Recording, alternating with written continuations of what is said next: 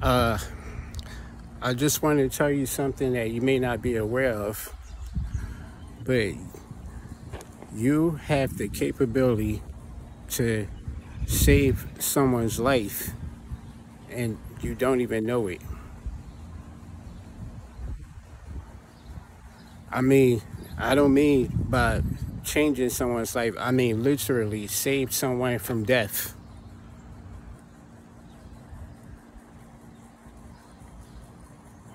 You probably remember me, guys. You guys probably remember me saying this before, but you can speak to a person in a way that gives them courage to fight off their demons. And that in turn uh, will save that person from eternal damnation. This can be done. Yes, it can be done. And some of you are actually aware of this, that you can actually do this. You can save someone's life and you just actively choose not to. Um, probably because you're dealing with your own struggles and you don't really know how to handle uh, uh, your problems and things that life throws at you. So, you know, you have more than you're more than capable of helping someone else with their issues and it seems simple enough for you to do but yet you refuse to do it out of selfishness.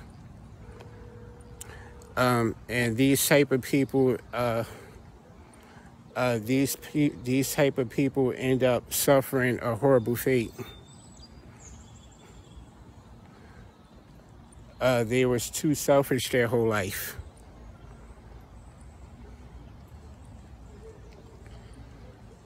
you know at their time of death they're being forced to reflect on those all those times they could have helped someone and they refused to do so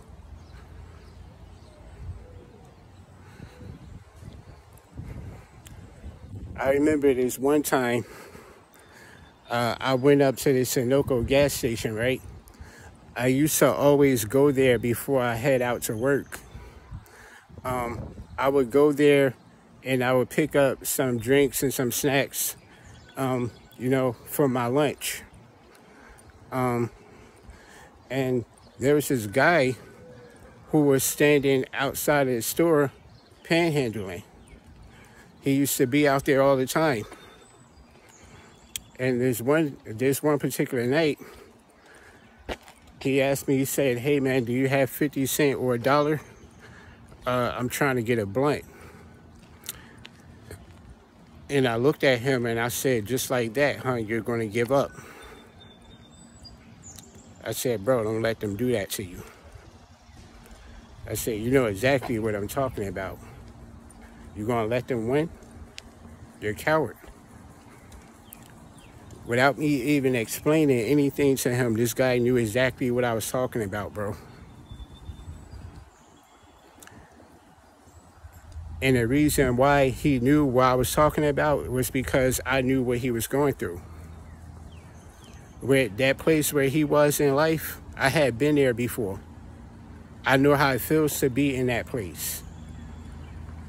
I know exactly what it feels like, man, when you come from a family uh, that treats you so poorly that it almost feels like it doesn't matter how you live your life.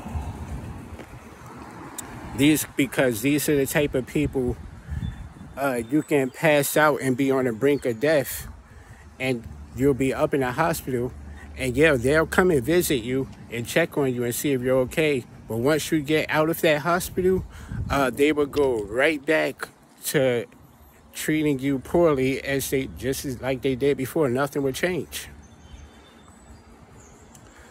And the reason why is because even though they came to the hospital to check on you, they were secretly hoping you would die.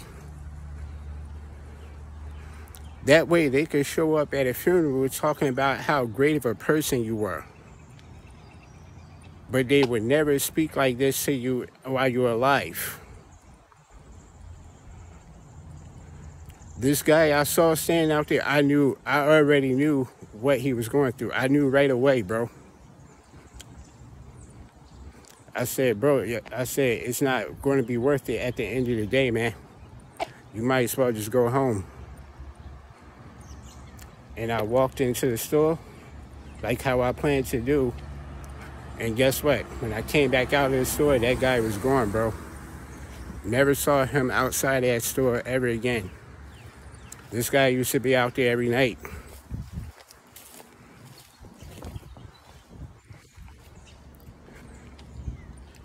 Because I forgot to mention before I walked in the store, I had asked him, I said, do you, I said, you know what I'm talking about, don't you? He said, yeah. He said, I do. And when I, I kid you not, when I came back out of the store, that guy wasn't there anymore. I never saw him out there again. True story, man.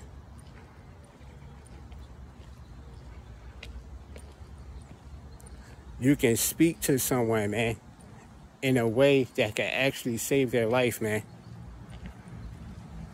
That some of us actually need us. Some sometimes we need someone to say the right thing, bro. You know what I'm saying? We don't always, we don't just simply need someone to lend us an ear and hear us out, man. Sometimes we need to do the listening ourselves. Even if you're we're hard-headed, sometimes some of us are hard-headed people, man. But even even those type of people know uh, when it's time to shut up and listen, bro. Uh, because things are getting worse. It doesn't seem to be getting any better. These things that I'm doing so far doesn't seem to work. I have to try something else, but I don't know what else to do. Uh, I, I need some suggestions. I need a I need someone to help me understand who's been through this before because I've never been through this and I don't know how to handle this. We all reach that point sometimes, man. If you're going to be arrogant and act like you know everything, man, then you're just going to die a horrible death. You'll die without, without ever accomplishing anything. You are too stuck on yourself.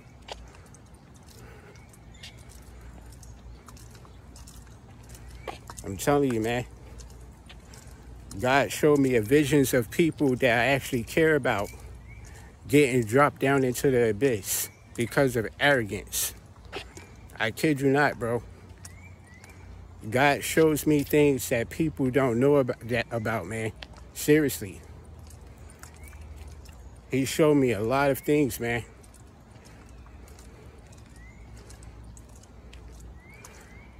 People started wondering how and why did I change so much, man. But I already told them. This is what I mean when I say sometimes um, I don't try to insult people. But when I say people are spiritually dumb, believe me, I'm not trying to insult people, bro. You know what I mean? They, they're literally, but they are literally dumb. Because if I already answered your question, why would you ask me again? You know, people be wanting to know what inspired so much change in me. Why did I change so much? And I would tell them, well, God showed me a vision of hell and what is what it's like to actually be in that place. And that person would think, well, hell isn't real. So you're lying. I'm lying. So you think I'm lying about why I change my ways. But the way I change, how much I change doesn't make sense to you from a logical standpoint. I seem like an entirely different person to you. But you don't believe the reason why that I've given you. So guess what? I have nothing else to say to you. I'm not in the mood to entertain you. I'm not a jester. I have the mindset of a king. I don't have the mindset of a jester. That's where you're failing to realize. I'm not trying to insult you. I'm telling you the truth. You outright called me a liar. That was crazy.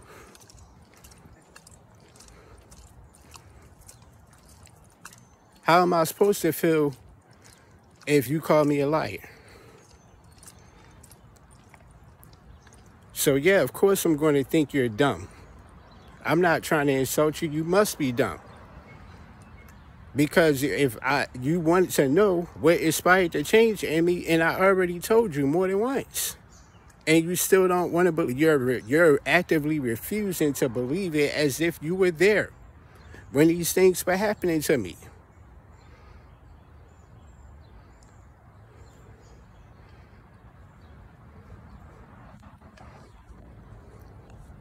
I'm telling you, man. In my particular situation, who saved my life in my particular situation was the Most High Himself.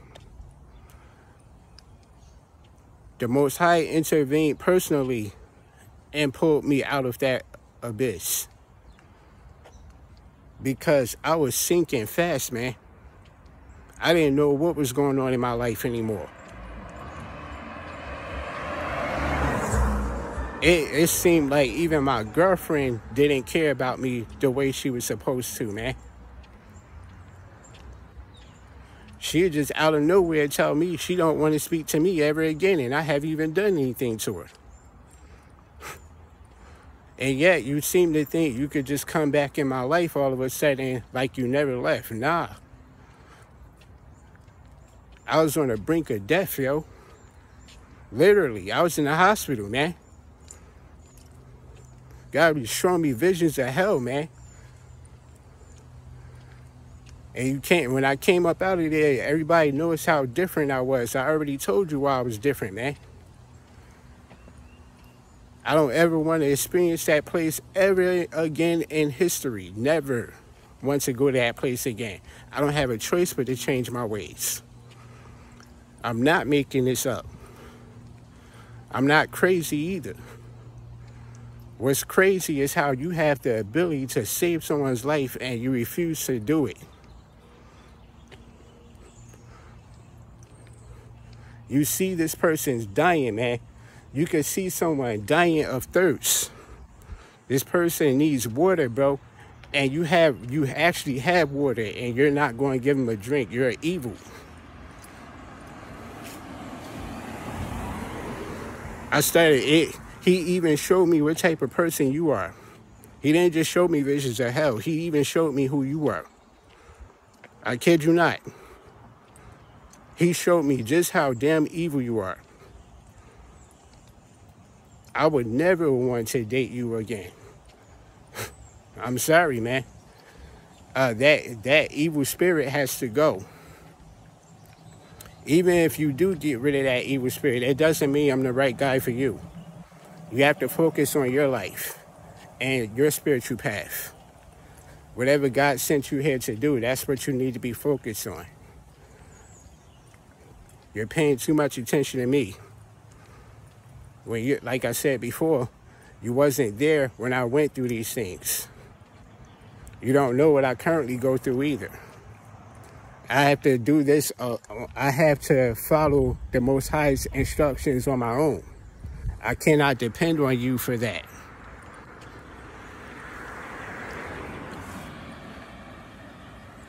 So with that being said, everybody, man, yo, y'all know what to do, yo.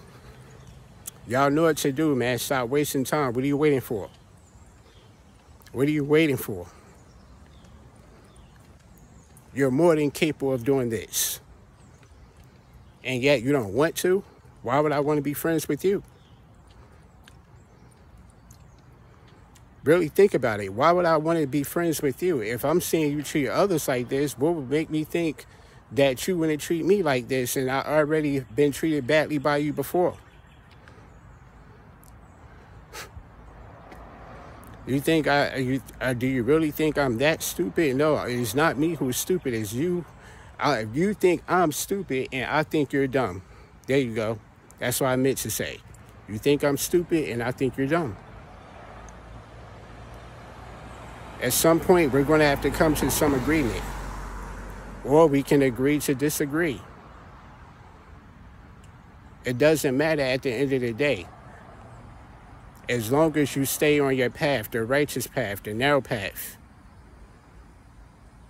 Do not stray off that path even for a minute. Because there's something out there waiting for you. I can promise you that, man. They're always watching. They're waiting for an opportune moment to swoop down like an eagle. It's time to wisen up, people. Yeah, I have much love for you, man, but I don't love that demon that's in you. Yeah, that's all I have to say for now. Peace out. Later.